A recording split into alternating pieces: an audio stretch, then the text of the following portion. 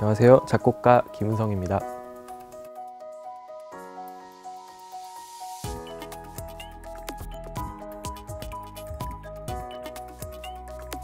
네, 제 작품의 제목은 그랭이고요. 어, 플룻과 대금을 위한 협주곡입니다. 그랭이는 어, 선조들의 자연미를 볼 수 있는 건축 도구인데요. 이를 통해서 어, 제가 그 있는 그대로의 중요성을 깨달을 수 있었고 이것이 제 작품의 근간이 되고 있습니다.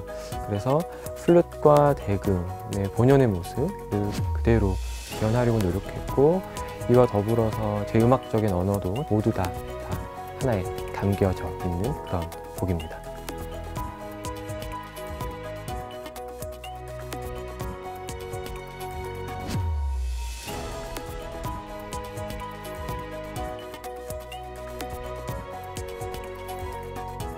네, 당연히 국악이고요.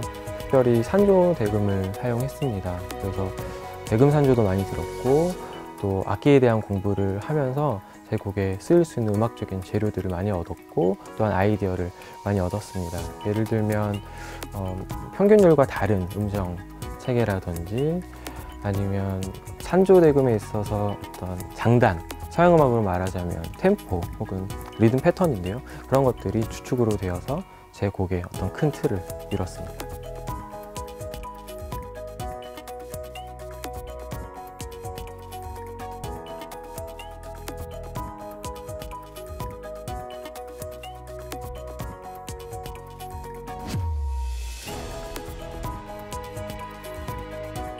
특별한 계기는 없다고 생각이 듭니다. 음악이 좋아서 계속 하고 있고요. 어, 순간순간 안 하려고 많이 노력을 했지만 아직까지도 작곡을 하고 있는 걸 보면 아마도 되기보다는 좋아서 하고 있는 것 같습니다.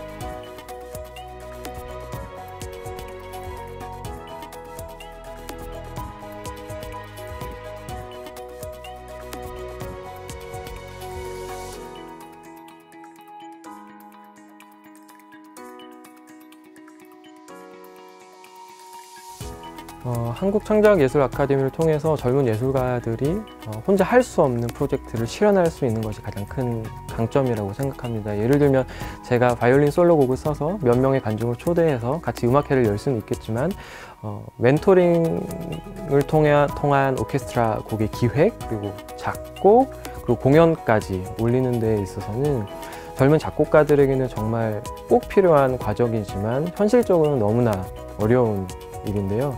이번 한국예술창작 아카데미를 통해서 그것이 실현될 수 있어서 너무 감사하고 기쁩니다.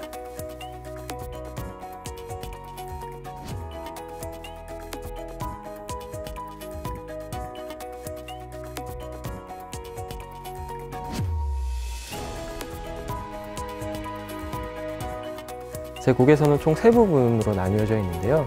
어, 세 부분마다 대금과 플룻이 서로 대조하는 방식이 다릅니다. 예를 들면 정합대금이 쓰기도 하고 거기에서 산조대금으로 바뀌기도 하고요.